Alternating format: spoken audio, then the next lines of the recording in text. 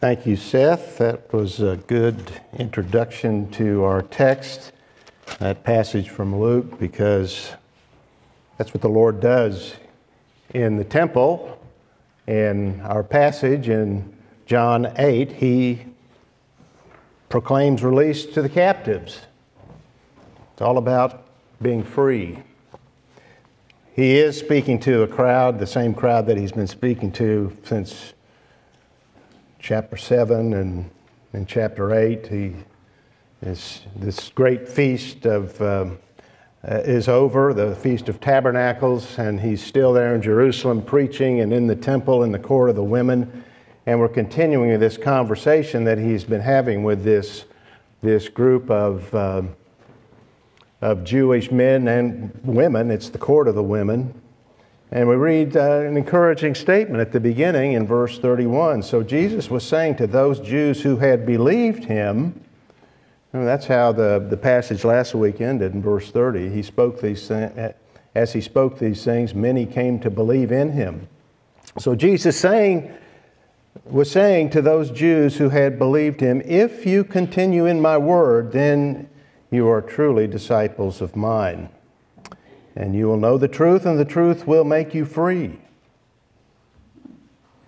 They answered him, We are Abraham's descendants and have never been enslaved to anyone. How is it that you say you will become free?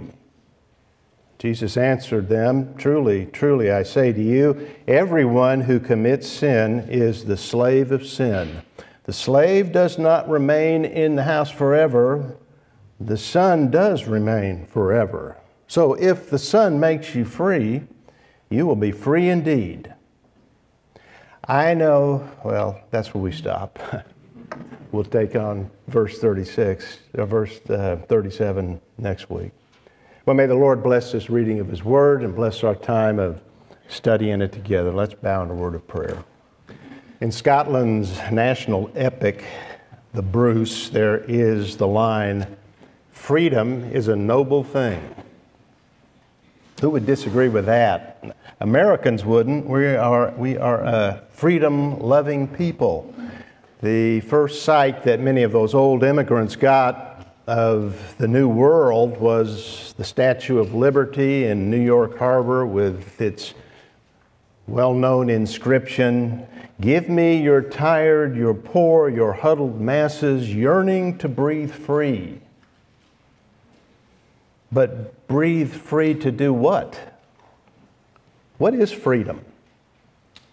Well, there are different ideas about that. Freedom is national independence, it's personal autonomy, self determination, it is freedom of choice, or it's freedom from restraint. The Lord spoke of freedom, and what He spoke about was truly a noble thing. It's not the occasion to do what we want to do, but it is the ability to do what we should do. It's the freedom to be what we were made to be. It's something men cannot forge for themselves.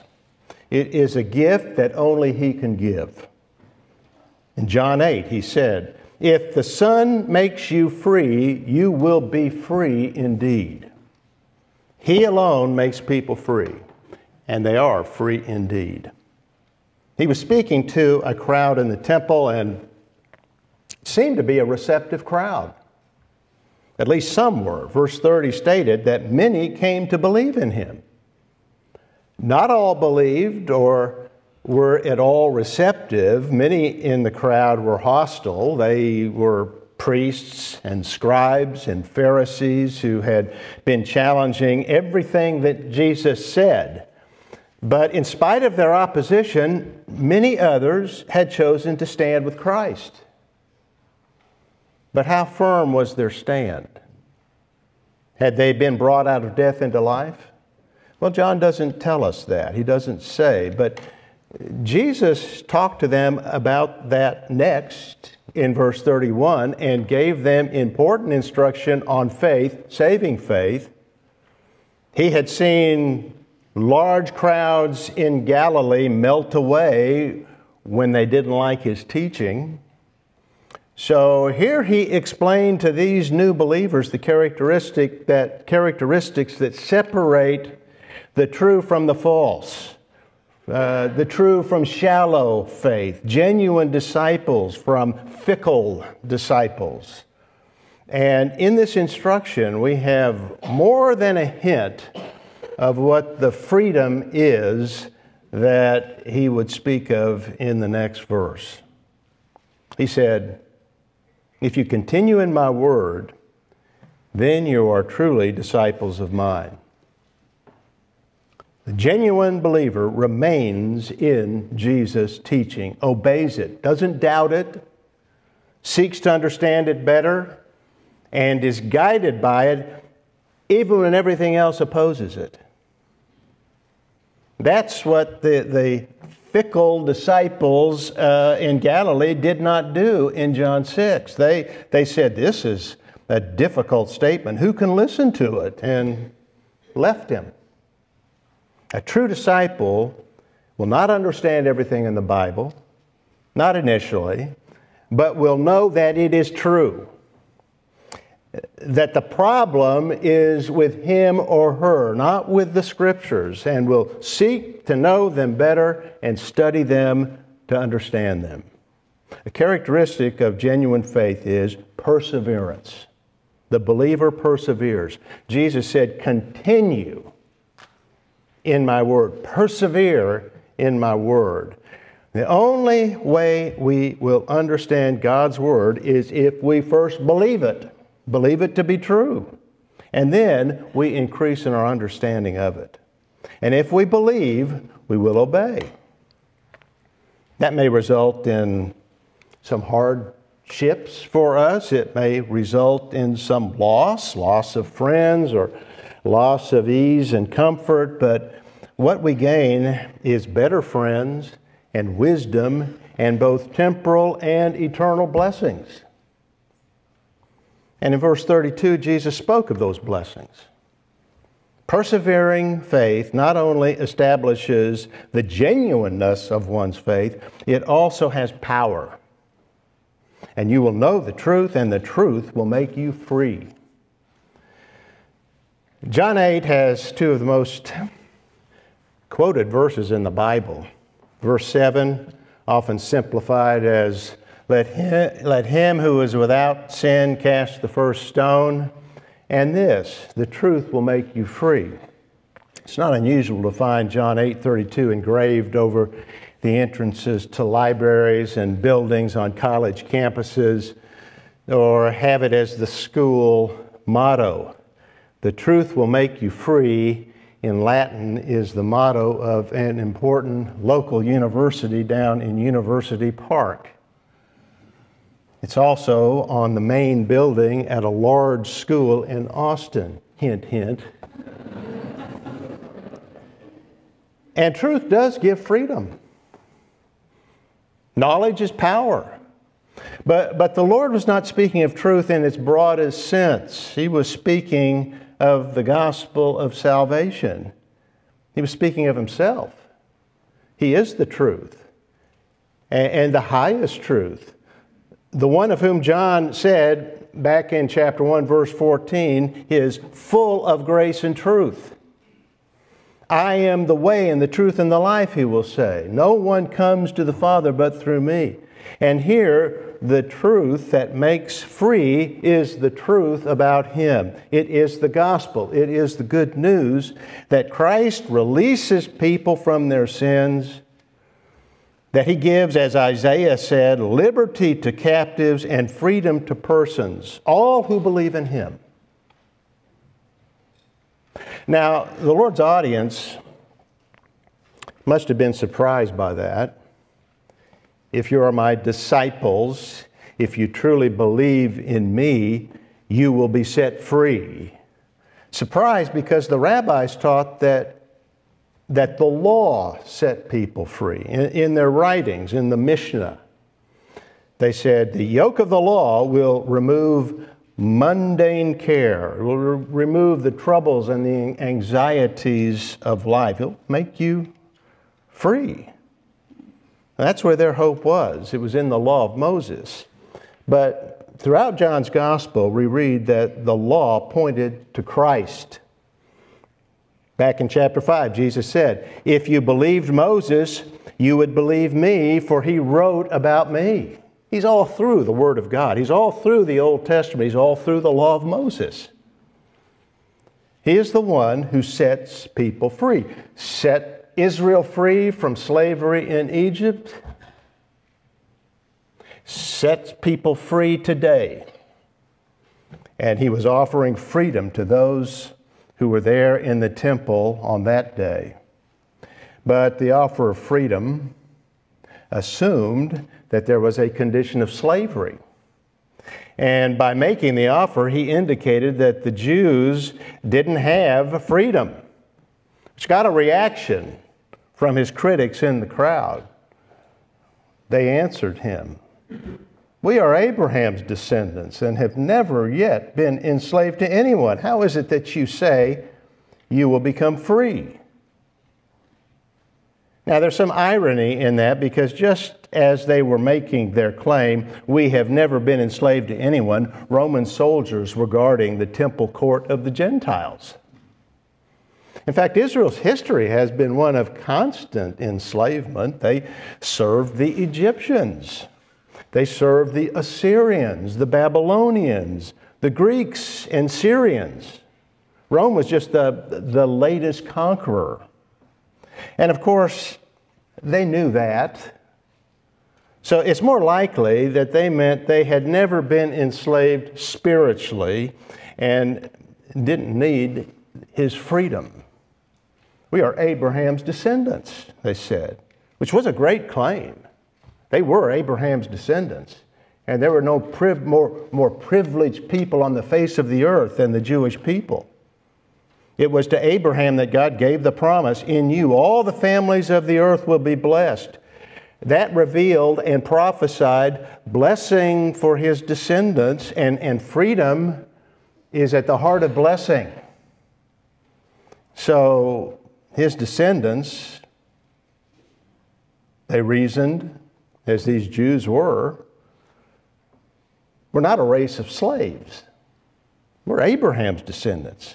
We're free people. Well, they were God's people. They saw themselves as sons of the kingdom. In fact, they're referred to that in, in, Matthew chapter 8 sons of the kingdom, not slaves. And certainly they don't need to be set free. The very suggestion that they were slaves was a, a great affront to them.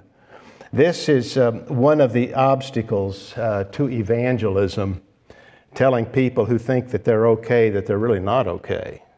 That's what Jesus was doing with these Jewish people who were so full of their, their uh, confidence in their, their relationship with the Lord that when they heard this, it was, as I said, a great affront. And, and that, that happens, I think, routinely when, when the gospel is given to people today, informing them that, that they're not okay, they're guilty, they're, they're sinful, and they're helpless, and they need God's mercy and grace. No one wants to hear that. People object to that. The Greeks did. When Paul was on Mars Hill and told the philosophers of Athens, Judgment Day was coming and they needed to repent, they laughed at him. That was Gentile arrogance. This was Jewish pride. They were Abraham's descendants which was true and which is a great privilege. They could not imagine, though, being in need. The Greeks were, not them. But there's more to being a descendant of Abraham than having a, claim on physical parentage. John the Baptist reminded them of that in Matthew chapter 3, verses 8 and 9. He told them God could raise up children to Abraham from these stones. And if you've been to Israel, you know it's a very rocky country, particularly up around Jerusalem, lots of limestone. And it was a vivid reminder of, of their need for grace. God can raise up you people like you out of stones. He doesn't, it's nothing special about you, it's all of God's grace. They couldn't rely on their ancestry, is what he was saying. as esteemed as that was, they needed to repent and do works of repentance. Abraham understood that. He understood his condition very well, certainly better than his descendants did. At one point in Genesis 18, he told the Lord that he was just dust and ashes. Nothing to brag about there. But these people didn't have that attitude, just the opposite. Their connection to Abraham made them special in their minds and without need of mercy. They were not slaves. So the Lord had to explain to them what He meant by freedom and slavery. And to emphasize His meaning, He began with a strong assertion. Jesus said to them, Truly, truly, I say to you, everyone who commits sin is the slave of sin. Sin is slavery.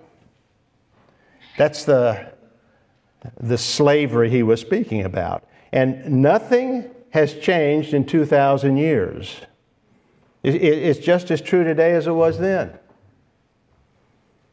This is as much a message for us today as it was to those ancient Jews. Freedom means different things to different people. For some, it's personal autonomy, it's a self directed life, it's, it's life without restraints.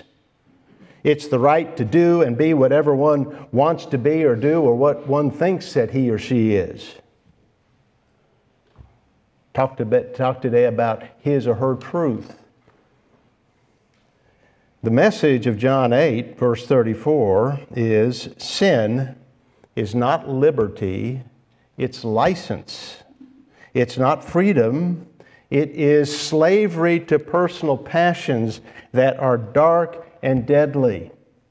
Sin may be pleasurable, but it is lethal.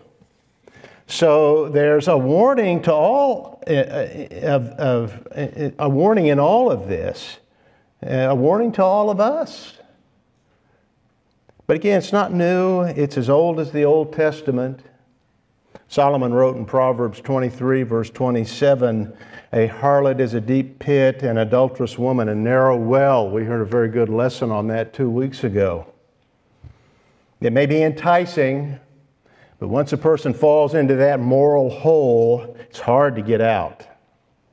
You, you can visit ancient Egyptian copper mines that are down in the Arabah, the, the, the desert in Israel, south of the Dead Sea and get a glimpse of the kind of slavery Solomon spoke of. The, the, the mines are deep holes in the ground.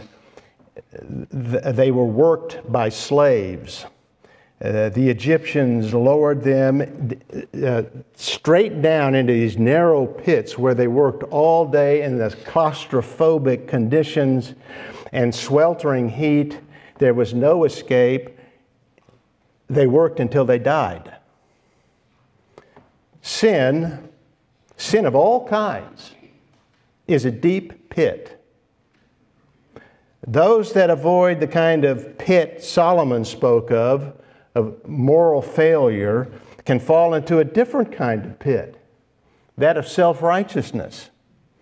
That's what characterized the Lord's critics here in the temple. They were convinced that they were moral and, and they were not slaves. But self righteousness is the worst pit to be in because the person who is affected by that, who is self righteous, can't see himself as self righteous and can't see his condition and need. Being a slave to sin, whatever it may be, immorality or empty piety, religiosity, is a hard life because sin is a hard master. Always. Isaiah said, There is no peace for the wicked. No peace. And there's no peace for the moralist who stands on his own merit. You see that in the rich young ruler who came to Jesus in Matthew chapter 19, verse 16. And there he asked the Lord, What good thing shall I do to obtain eternal life? He was an admirable character, an admirable, admirable young man, a clean, good, religious lawkeeper. but unsettled, troubled in his soul, and with good reason, because if eternal life is dependent upon us, what we do, what we keep on doing, there is no assurance. We're all prone to wander and we all constantly fail. But again, evangelism is, is hard preaching because many people, most people maybe, cannot see how desperate their condition is and don't respond. They're spiritually blind and spiritual slaves. People have achieved political freedom. Inventions, modern inventions, have given us freedom from time, hard labor, and sickness. This modern age has been richly blessed materially blessed by God's goodness to us. Man, by his, his natural powers, has, has uh, by the grace of God, freed himself from, from many things, from want and, and, and worries of earthly existence. And that, that's certainly true of our age and our, our uh, place here. But he's never been able to free himself from the darkness that covers his soul to free himself from his ignorance of the true God or deliver himself from a heart bent to selfishness and sin. That's the greatest slavery. And often a, a, person must be brought to the point of despair of his or her attempts to be righteous and gain spiritual and moral freedom in order to be brought to the truth brought to the end of himself or herself to be brought to the Lord. And maybe some of, of those that Jesus spoke to here, who it said came to believe in him, had come to that point and truly had believed. But most in that crowd had not come to that knowledge of reality, had not come to that wisdom. Jesus was mainly talking to people who were convinced they were right with God, that they were Abraham's descendants, that they were okay. But the only way to, to pierce this darkness in, the, in their hearts is with light. Jesus is the light of the world. And so he continued to give them light. He continued to teach them truth to help them to despair of themselves.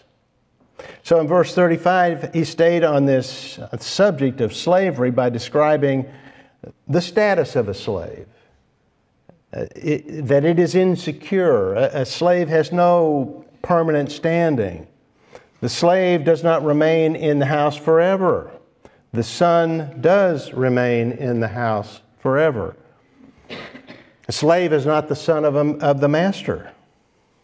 He may work in the house. He may even enjoy some of the amenities of the home. But as a slave, he has no rights. He's property and he can be sold away. The Lord was illustrating the nature of slavery in order to apply it to the Jews. Their security was based on being Abraham's sons. Jesus challenged their assurance by indicating they were really slaves. They had privileges as Jews. Jesus didn't deny that. But apart from faith in Him and salvation, their privileges were only temporal and would not last forever, wouldn't last for long.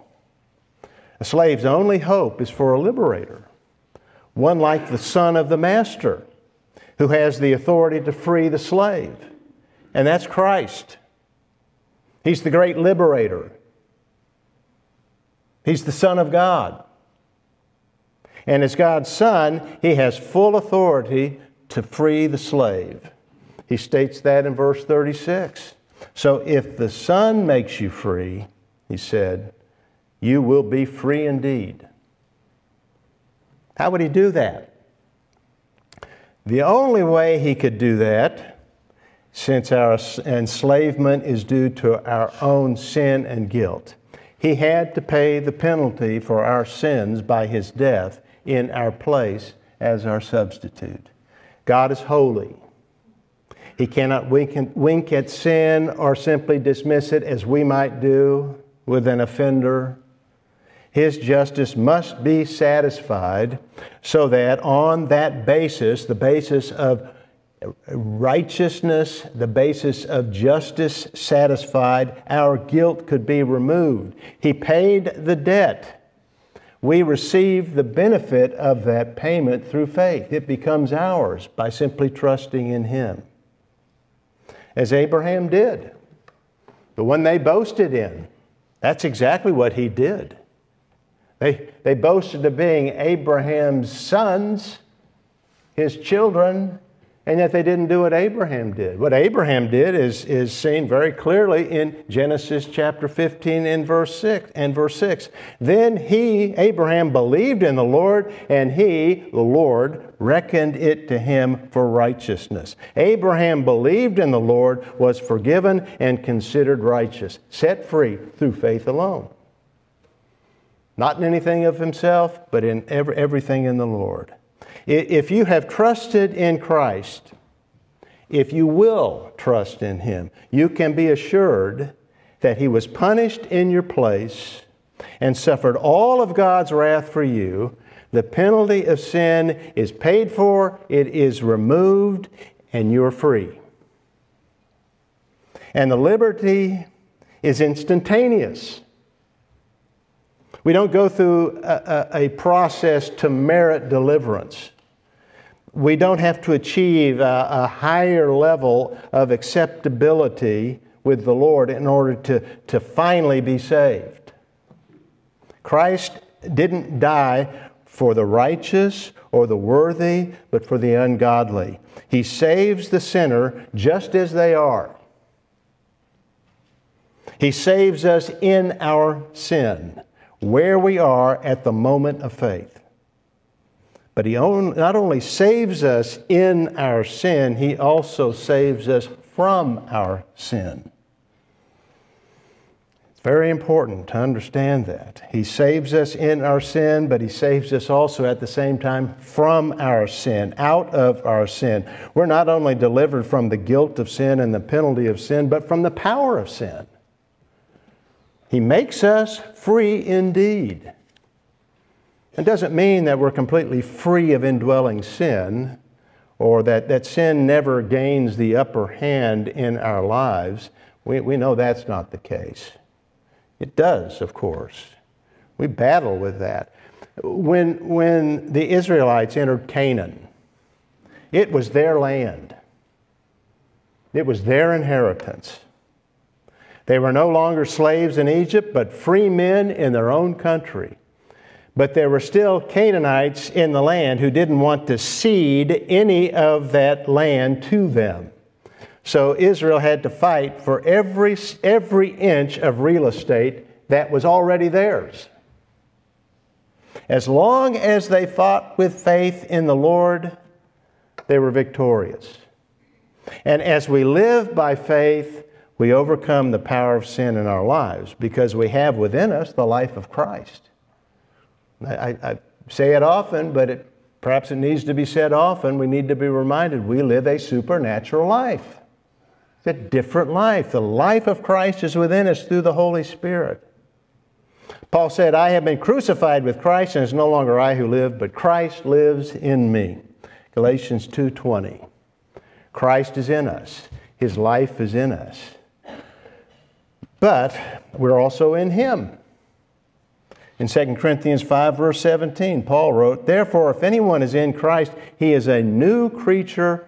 The old things passed away. Behold, new things have come. We are new creatures. We're not the people we used to be. And we're like, we'll study this later. You know this passage, but we're like a branch in a vine or a tree. And just as a branch receives life giving sap from the tree to produce leaves and fruit, so too we receive spiritual life, spiritual energy from the Lord. His life is in us. We're free from the old life. that life is over. The person is dead that we used to be, and we are new persons, we're new individuals. The believer in Christ is a new creature. That's what Paul said. Knowing that affects our behavior as we act on it.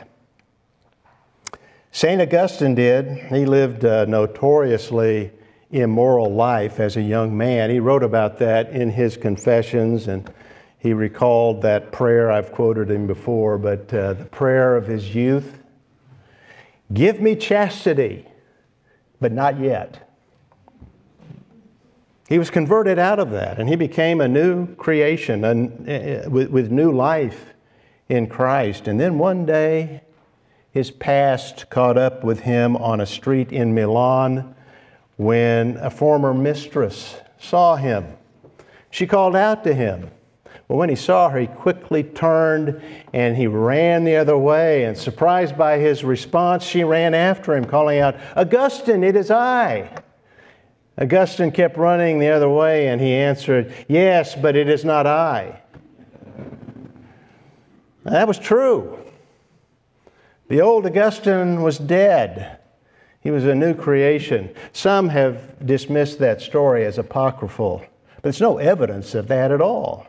And it's completely true to life. It illustrates accurately 2 Corinthians 5, verse 17, how a new creature lives in response to temptation. It, it shows us how Romans chapter 6, verse 11 is lived out. There, Paul wrote, even so, consider yourselves to be dead to sin, but alive to God in Christ Jesus. Consider this to be true. You're dead to sin, you're alive to God in Christ Jesus. Why? Because if you are a believer in, because that is what you are if you're a believer in Christ. You, you are in Him and He is in you. We're dead to the old life. Therefore, reckon that to be true. Consider it to be true daily and know you can't go back to that old life.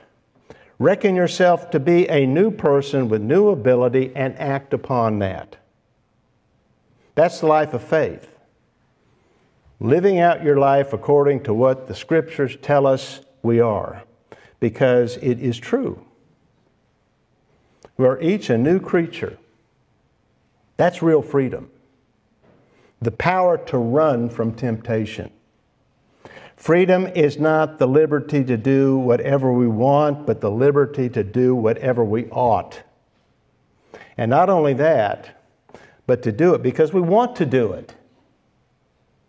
What we ought to do and want to do, or ought to want to do, and will if we are Christians, is what Jesus told a scribe when he summarized the law of God and the will of God in two commandments.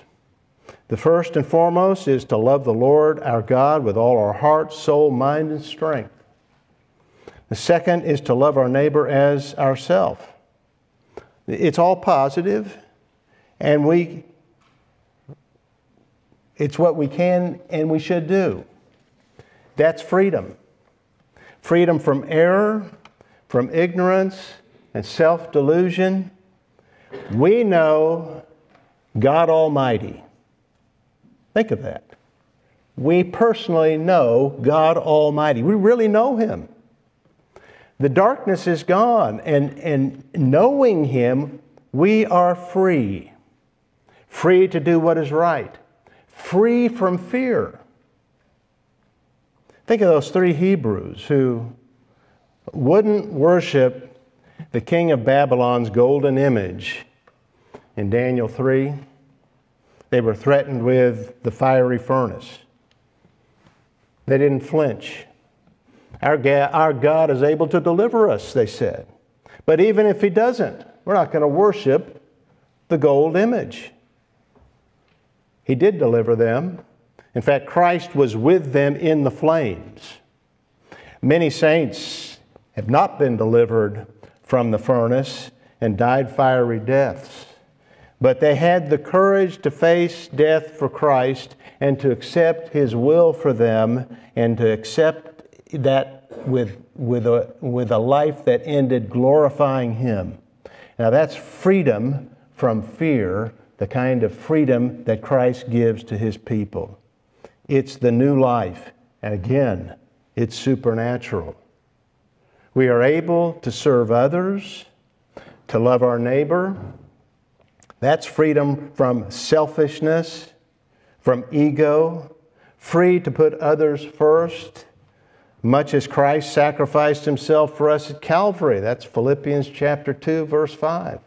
He, he is the great example in, to the Philippians that Paul cites in order to teach them to not think of themselves as more important than others, to put others ahead of themselves. And we have the ability, the power to do that, the freedom to do that. But again, having said all of that, this is not a promise of a sin free life, uh, of sinless perfection. That's nowhere promised in the Word of God. From the day we are born again to the day we die, life is a struggle. In Ephesians 6, Paul describes it as a struggle against spiritual forces in heavenly places. He, he narrows the, the, the battle, the spiritual struggle there to that spiritual realm that is exterior to us, that affects us from the outside. It also includes not only the, the demonic, the satanic, it also includes the world and the, the spirit of the age that puts pressure on us to conform to it, which is also outside of us and impressing itself upon us. But then there is also the interior, the, the struggle within. And that's what Paul speaks of in Romans chapter 7 and in Galatians chapter 5. And he describes it as a battle with the flesh and the sin that is in, it, that is in us. And it is constant, it is continual. You're fighting it right now. We're always dealing with that. Temptation doesn't stop. Failure still happens. We don't always reckon ourselves dead to sin and alive to God in Christ Jesus. We don't do that as we ought. But Paul wrote at the end of Romans 7, in which, as you know, he speaks of his frustration in this spiritual struggle and how he doesn't match up to things uh, himself. He's doing what he doesn't want to do and doesn't do what he knows he should and wants to do. He says at the end of it, though, thanks be to God through Jesus Christ our Lord. In other words, he will be freed completely in the future, in the resurrection, to be glorified and perfect. That's, that's the hope that we have. That's the hope every believer in Jesus Christ has. We are presently free from the power of sin but we still deal with that sin and struggle with it. But the day is coming when we will not only be free from the power of sin, we'll be from, free from the very presence of sin. And all of this that we go through will be a thing of the past and forgotten. Well, that's the promise that the Lord offered his audience that day in the temple to be free to live obediently, believing in him and abiding in his word. Some may have been enslaved to the sin of immorality there in that temple that day, or the sin of religious pride, which is grinding away at the mill of merit, toiling and sweating to produce and earn God's favor. That's slavery. That's what John and Charles Wesley did, and their friend George Whitefield, who engaged in all kinds of religious activity wearing themselves out in a futile attempt to be saved by their works. But God shined His grace into their hearts. Charles wrote of it in one of his great hymns. I woke, the dungeon flamed with light, my chains fell off, my heart was free, I rose, went forth, and followed thee. If you want to be rid of the chains, want that freedom, then come to Christ. Believe in Him as your God and Savior. He receives all who do, and then by His grace, follow Him. Father, there's nothing more amazing than the great truth that the Son of God died for His people, for a multitude of them, for everyone who's put his faith or her faith in Him. And so we thank you that now there's no longer any condemnation for us who are in Christ Jesus. We thank you for that. Lord, give us joy as we contemplate that and give us resolve to live a life that's honoring to you, that brings glory to you.